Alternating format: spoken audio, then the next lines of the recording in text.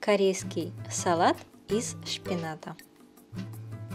Нам потребуется с вами свежий шпинат, один большой пучок, в среднем около 700 грамм, с учетом того, что вы обрежете э, с него части э, оставшихся корешков. Э, шпинат нужно хорошо промыть один или два раза в холодной воде и обрезать кончики ножек и затем сложить их Э, все аккуратно вот таким вот образом, чтобы ножки были с одной стороны, а листья с другой. Вскипятим большое количество воды, так чтобы в него э, помещалось э, объем шпината, но лучше порционно его отваривать. Посолите воду где-то в объеме 1-2 столовых ложек. И сначала мы опускаем в воду ножки листьев шпината и держим так в воде, в горячей кипящей воде 20 секунд. А, вода должна все время кипеть, то есть мы на сильном огне держим эту воду. Затем опускаем э, листья целиком и варим еще в течение 15 секунд. Объясню, ножки они э, толще, э, чем сами листья, поэтому им нужно немного больше времени, чтобы провариться. Затем мы после того, как прошло 15 еще 15 секунд, собираем шпинат и должны будем его остудить в холодной воде. Поэтому заранее подготовьте еще достаточно большое количество холодной воды. Значит, еще раз повторим. Э, шпинат варится так. Сначала мы опускаем ножки листьев на 20 секунд, затем целиком еще на 15 секунд опускаем уже листья целиком. Извлекаем из горячей воды и остужаем в холодной воде. А после этого нам нужно будет уже остывшие листья шпината э, хорошенько отжать. Для этого мы собираем э, их порционно э, в комочке и отжимаем воду из шпината. Комочки лучше собирайте достаточно объемные, чтобы листья сами на себя давили. Давим мы уверенно, но в то же время аккуратно. Э, чтобы не поломать сами листья. Вы увидите, что э, выйдет достаточно большое количество жидкости. Для чего вообще шпинат отваривается?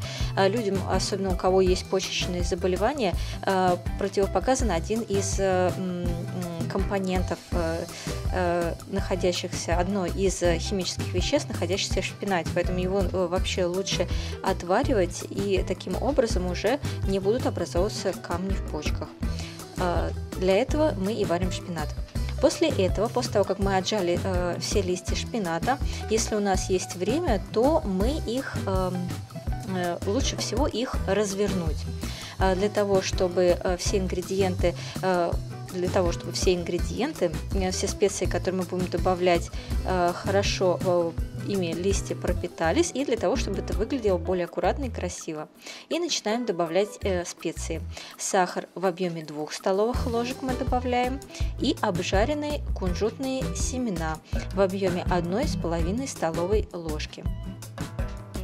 Затем нам потребуется молотый чеснок 2 столовые ложки. Это где-то около одной головки чеснока.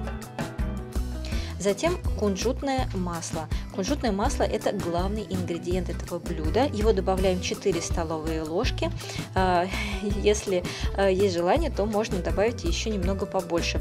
А, и соевый соус мы добавляем в объеме 2 столовых ложек с половиной. Но если вам недостаточно солено, можно соль добавить или еще соевый соус. Вообще специи – это дело вкуса.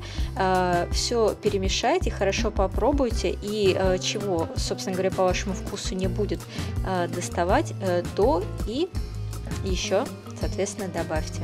Перемешиваем, все хорошо. От этого зависит, э, насколько пропитается салат, насколько в нем отразится весь спектр специй и от того, насколько он будет ароматным благодаря кунжутному маслу. А затем мы можем либо сразу подать к столу, либо сложить в стеклянный или пластиковый контейнер и э, хранить э, где-то около 3-4 дней. Срок годности продукта определяется его кислостью. Как почувствовали, что начинает кислеть, значит лучше сразу употребить. И перед подачей мы посыпаем блюдо кунжутными семенами. Также, если вы достали его из холодильника, они сразу подали после приготовления, то можно и еще чуть-чуть добавить кунжутного масла сразу перед подачей. Если вы правильно отварили шпинат, то он будет э, хорошо и легко жеваться. Э, шпинат очень полезен, а это блюдо очень ароматное и вкусное. Э, надеюсь, вам понравился этот рецепт. Оставляйте, пожалуйста, комментарии об вашем опыте э, приготовления блюд корейской кухни. Ставьте нам лайк и подписывайтесь. Приятного вам аппетита!